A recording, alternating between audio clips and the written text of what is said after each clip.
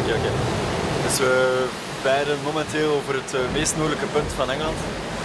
Uh, 25, 30 knopen wind. De afgelopen twee dagen zijn uh, super intens geweest. Um, heel veel peels dicht bij de kust, heel veel overstijgen gehad. Uh, we liggen jammer genoeg niet helemaal vooraan, maar we liggen nog altijd dicht bij de leiders. Op 5 à 10 mijl liggen we van Mafre. Dus alles is nog mogelijk. het is een beetje now or never het gevoel. Dus we doen er alles aan om Bouwen eindelijk die, zijn trofee in de lucht te kunnen laten steken.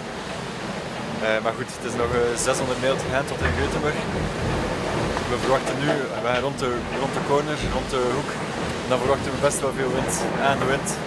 Dus dan weten we, dat zijn condities waar we goed in zijn en waar we het, waar we het verschil kunnen maken. Dus yes, wij zijn er klaar voor.